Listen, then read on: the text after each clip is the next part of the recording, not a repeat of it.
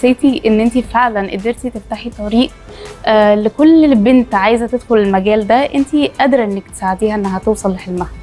آه، في 2014 تحديدا كانت شركة من شركات السيارات قررت تعمل آه، زي دورة تدريبية للشباب والبنات اللي متخرجين من المدارس الفنية في مصر. اللي هم ما دخلوش ثانوي عام ودخلوا ثانوي صناعي أو ثانوي فني وقررت الشركة دي إن هم يقبلوا بنات إن هم يبقوا فنيين سيارات.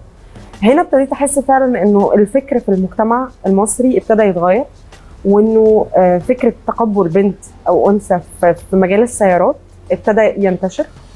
وكان في كمان بنات بت بتعرف توصل لي على مواقع التواصل الاجتماعي آه، لو شافوا برنامج أو لو سمعوا اسمي أو لو درست في حتة ابتدوا يكلموني عشان عايزين يعرفوا يخشوا المجال إزاي ويذاكروا إيه.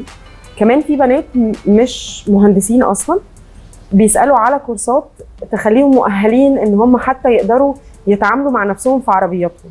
فدي بقى كانت فرحتي. حسيت إنه تعبي ما وقعش في الأرض وإنه في بنات ابتدت تغير فكرة إنه لأ أنا مش عايزة ضوافري تتكسر ومش عايزة هدومي تتوسخ وإنه لأ مش خايفة من نظرة المجتمع. آه وابتدى الفكر كمان عند البنات يتغير. في الوقت ده ابتديت أتأكد إنه خلاص الحمد لله الطريق اتفتح. وفي بنات كتير فعلا دخلت المجال يعني في القاهرة وفي اسكندرية وفي الصعيد. كمان في بنات شغالين في ورش وفي سيدات بيمتلكوا ورش دلوقتي كمان في الصعيد. فالحمد لله تعبي ما راحش في الأرض يعني.